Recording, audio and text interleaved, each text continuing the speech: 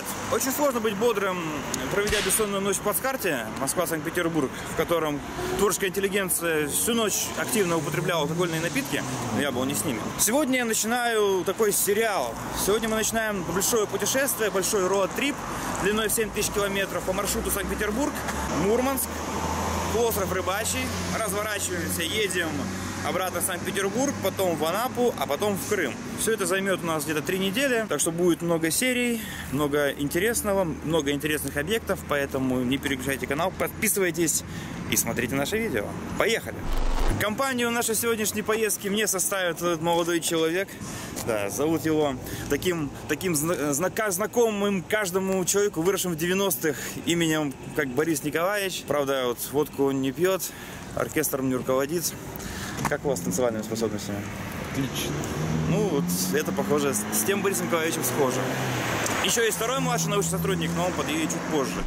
А вот, уважаемые зрители, подошел третий участник нашего сегодняшнего корпоратива. Представься. Меня зовут Тимур. Это все, что я могу о себе сейчас сказать. Поблагодарим его за столь развернутый э, рассказ со своей биографией. Едем дальше.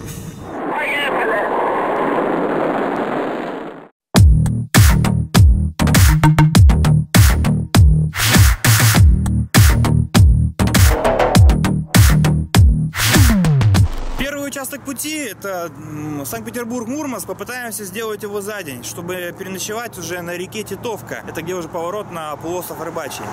Всего это где-то полторы тысячи километров, 300 проехали. Благо дорога хорошая и буквально, не знаю, за 3 часа 300 километров преодолели. Вези на связи, чудо сумрачного немецкого гения.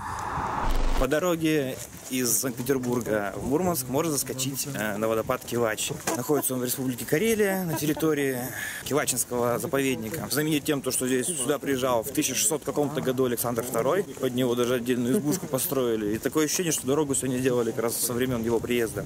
Водопад сейчас менее водный, чем раньше, потому что часть вод отвели под строительство ГЭС каких-то. И сейчас он не такой водный и красивый. Пойдем посмотрим водопад. Вообще на территории комплекса расположен вот водопад, э, дендрарий и еще музей. Все посмотрим, все прогуляем. С первым делом, естественно, водопад. В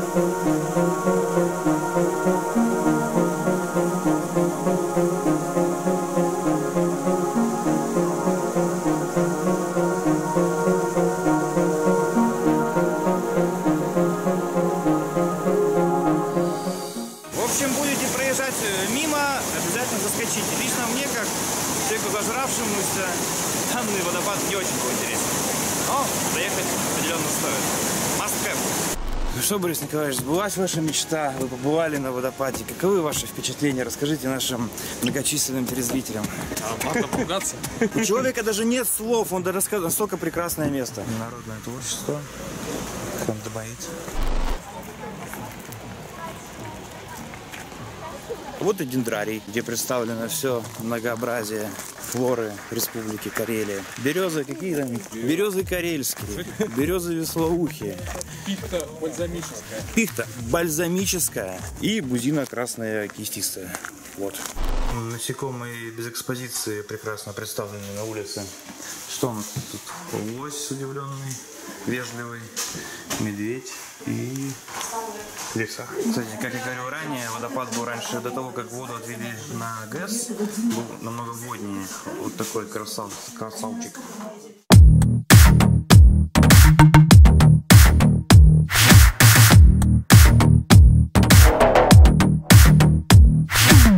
А вот, уважаемые зрители, то, о чем вы много раз читали, но ни разу не видели, это примерно начало Беломор канала. Там какая-то гидроэлектростанция, а вот это вот какой-то шлюз. Едем мы на такое место под названием Беломорские петроглифы, а пока еще не доехали. Вот тормознули у этой гидроэлектростанции. Пойду поснимаю. Thank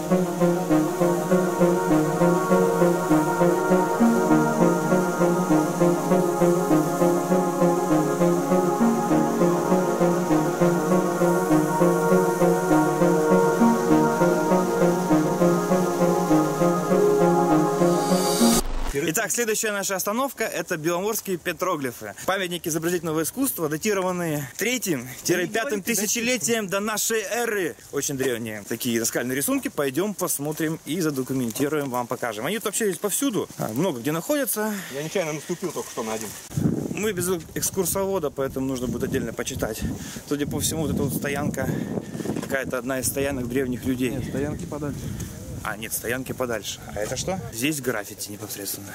Мои коллеги по поездке утверждают, что это все-таки не стоянки, что здесь рисовались древние граффити, а стоянки находятся где-то в других местах.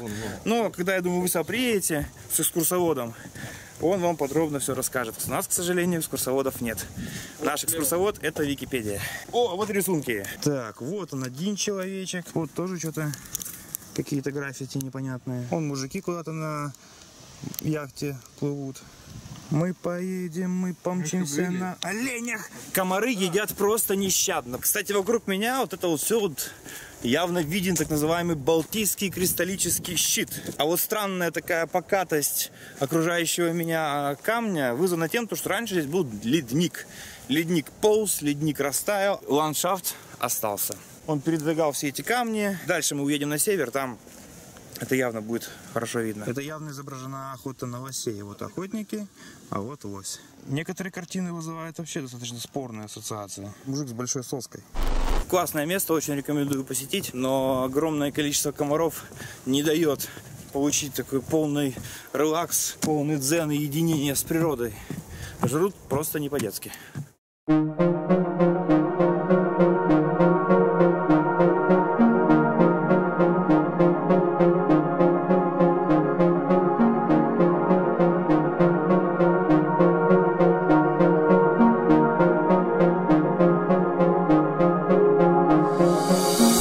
Я колдую.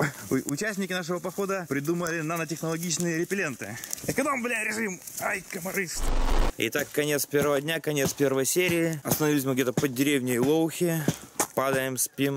И завтра снова в путь уже на полуостров Рыбачий. Так что до новых встреч. Пока-пока. Вы можете тоже попрощаться. Пока-пока. Счастливо, до завтра.